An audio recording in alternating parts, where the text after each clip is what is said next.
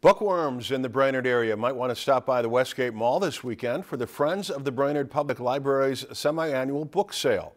Most of the books at the sale are 50 cents, with children's books being sold for a quarter apiece. Many of the books are donated by the surrounding communities, and the proceeds from the sale go towards the Friends of the Brainerd Public Library.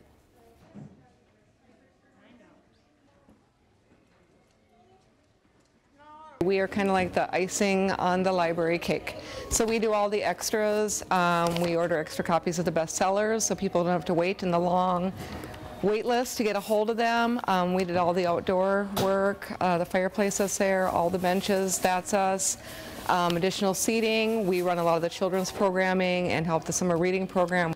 The book sale is open tomorrow from 9 a.m. until 4 p.m. and is located in the Westgate Mall in the old Foot Locker store. If you enjoyed this segment of Lakeland News, please consider making a tax-deductible contribution to Lakeland PBS.